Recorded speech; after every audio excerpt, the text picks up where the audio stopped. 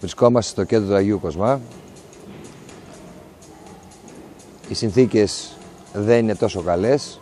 Διανοίγουμε μια εποχή που εμένα προσωπικά βρισκόμενος από το 70 στη γυμναστική με γυρίζει πάρα πολλά χρόνια πίσω.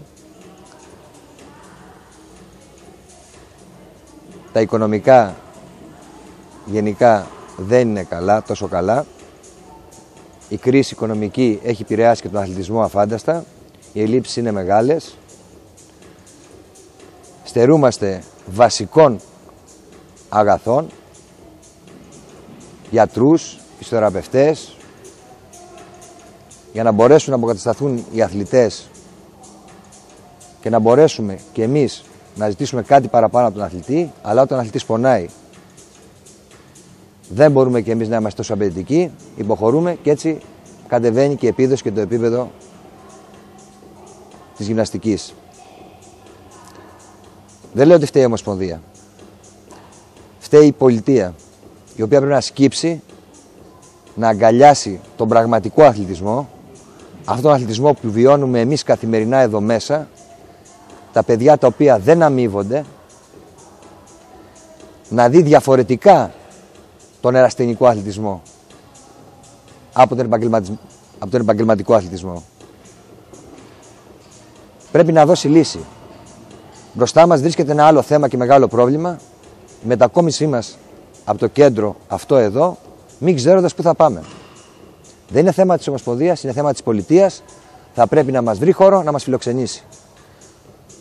Ο Άγιος Κοσμάς, όπως τα ξέρετε, υπεγράφει μια συμφωνία πριν λίγο, επουλήθηκε και δόθηκε στη Λάμπτα.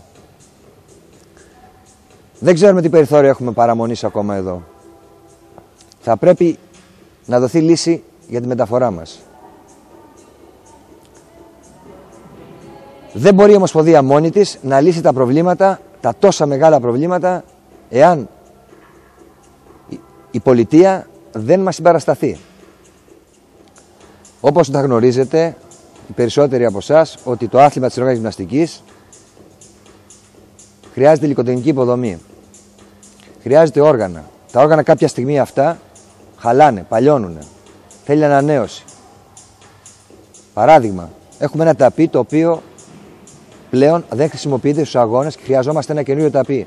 Έχουμε παγκόσμιους πρωταθλητές εδώ και δεν έχουμε το όργανο, το ανάλογο, να μπορέσουν τα παιδιά να κάνουν σε πραγματικές συνθήκες προπόνηση. Αυτά όλα λοιπόν μαζί με τους γιατρούς, με την υλικοτεχνική υποδομή είναι σοβαρά θέματα και σοβαρά ζητήματα όπου λύνοντάς τα θα ανεβάσουμε το επίπεδο του αθλήματος ακόμα πιο ψηλά.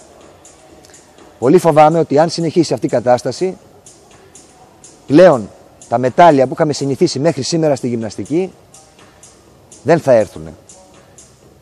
Οι αθλητές χρειάζονται κίνητρα. Χρειάζονται όρεξη για δουλειά.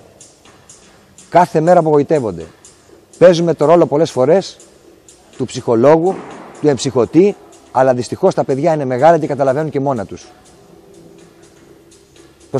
Προσπαθούμε οι προπονητές όλοι να έχουμε σε ψηλό βαθμό την ψυχολογία του αθλητή. Αλλά δεν φτάνει αυτό γιατί πρέπει να το κάνουμε και με έργα. Ελπίζω, κλείνοντας, ότι οι φορείς, η πολιτεία, η Γενική Γραμματεία Αθλητισμού θα πρέπει να το δουν από μια διαφορετική σκοπιά το άθλημα της γυμναστικής. Γιατί είναι εκείνο το άθλημα που έχει φέρει τα περισσότερα το τελευταίο καιρό τα περισσότερα μετάλλια. Σας ευχαριστώ πολύ.